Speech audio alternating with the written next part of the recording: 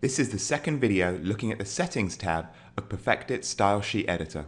As a reminder, to get to the Settings tab, click Edit Current Style, then click the Settings tab. We covered the interface in the last video, so let's jump straight down to look at more of the settings for Perfectit's tests that you can change in this tab. The test of numbers in sentences checks whether numbers are spelled out in full or appear as numerals.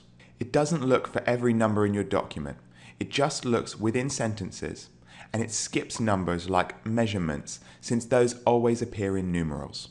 As you can see, in the Settings tab, the controls for the test of numbers in sentences are split into three groups 1 to 10, 11 to 20, and 21 to 100.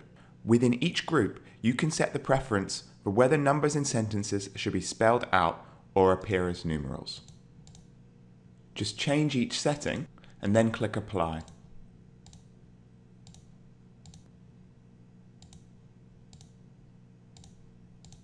Since some style guides work from 0 to 9 instead of 1 to 10, the options immediately below that allow you to set those preferences instead. For the test of Oxford or serial commas, Perfectit won't do any checking unless you set a preference. To set a preference, add it here. Perfectit will then scan the document for any locations that might not meet your preferred style and alert you to those. For example, if you prefer to include an Oxford comma, Perfectit will look for instances of the words and or or that are in a list without a preceding comma. This test does produce a lot of false positives, so you might not want to set a preference if those will slow you down. However, the idea is that it's a simple extra check to make sure documents conform to your style preferences. Beneath that are settings for personal titles. This allows you to control whether there should be a full stop or period after titles like Mr. or Mrs. Going down further, you can choose Perfectit's preferences for IZE and ISE endings. This preference applies to all other similar endings, such as organizing or organization. You can also enforce preferences for YZE and YSE endings. Just choose your preference and then click Apply. Below that is the test of style points.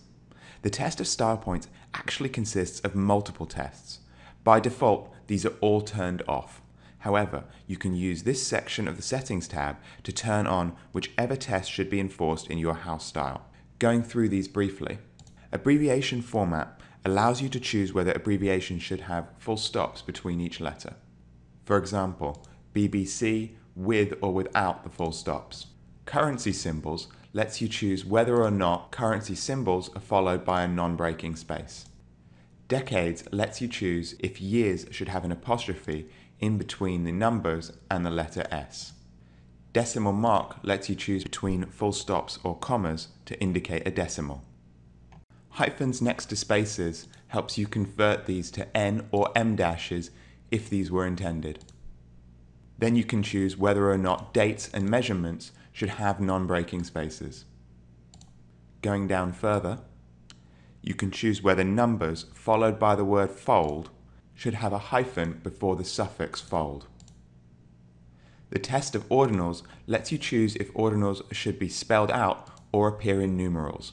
If you prefer numerals, it gives you the choice of using superscript for the ending, e.g. the th in fifth. Then you can choose if percentages should be expressed with a symbol or spelled out, and you can choose if they should have a non-breaking space. Quotes with punctuation allows you to choose where final punctuation should be with respect to quotation marks. The test of space around dashes is only for use when there is a single preference between n and m dashes. You can set a preference and it will find everything that doesn't conform with that. The test of thousand separators allows you to choose between commas, full stops, and non-breaking spaces. Each of these settings may sound like it's just a small issue, but the combination is very powerful. And with just a few minutes of work, you can build a style sheet that checks for all of these common errors and helps ensure that every one of your documents makes the best impression.